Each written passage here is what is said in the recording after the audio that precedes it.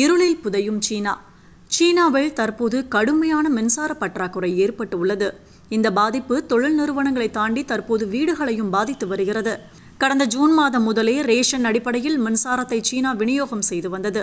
தற்போது கடும் மின்வெட்டு சூழல் உருவாகி இருக்கிறது. வீடுகளில் மின்சாரம் இல்லை. பல மாகாணங்களில் பல மணி நேரம் மின்வெட்டு இருக்கிறது.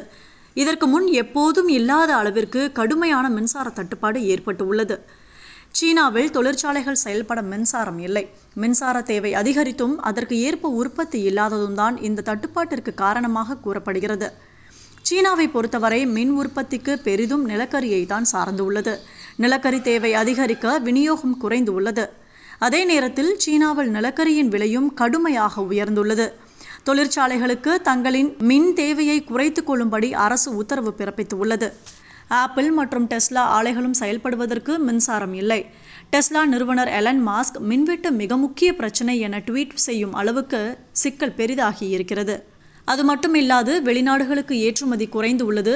சில வெளிநாட்டு நிறுவனங்கள் அடுத்த கட்ட முதலீட்டுக்கு வேறு நாடுகளுக்கு செல்ல இருப்பதாகவும் தகவல்கள் தெரிவிக்கின்றன.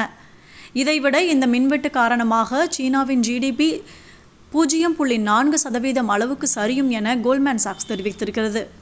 தேவைக்கு ஏற்ப மின்சார உற்பத்தி இல்லை என்ற நிலையிலும் கூட ஆஸ்திரேலியாவிலிருந்து நிலக்கரி வாங்குவதில்லை என்ற முடிவில் சீனா உறுதியாக உள்ளது.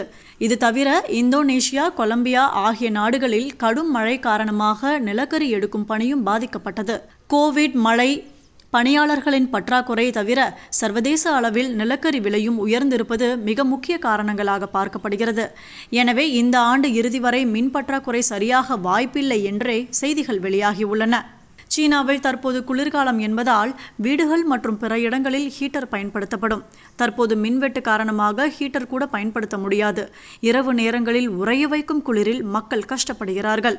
உலக நாடுகள் கொரோனா பெருந்தொற்றிலிருந்து மீண்டு கொஞ்சம் கொஞ்சமாக இயல்பு நிலைக்கு திரும்பும் சூழலில் கொரோனாவை கட்டுப்படுத்திய சீனா மின் பற்றாக்குறையால் முழுவதுமாக முடங்கி வருகிறது.